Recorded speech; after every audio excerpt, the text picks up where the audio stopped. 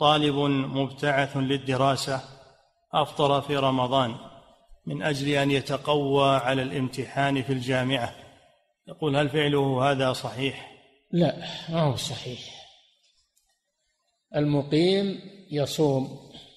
المقيم إقامة طويلة يصوم. فإذا أجهده الصوم خشي على نفسه فلا بأس أن يتناول ما يبقي عليه حياته. ويقضي هذا اليوم. أما أن يفطر من الأصل لا. ما يفطر إلا المسافر أو المريض ثم مرضى أو على سفر عدة من أيام أخرى. نعم.